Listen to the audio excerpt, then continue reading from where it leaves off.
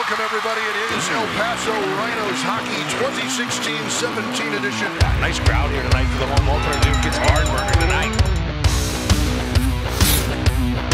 Right off his stick and up the way for a breakaway. Sayer, deep shot, Sayer by Mustakas. And he got a penalty here in the corner. You got some stuff going on. Gang up. And here we go. The Rhinos.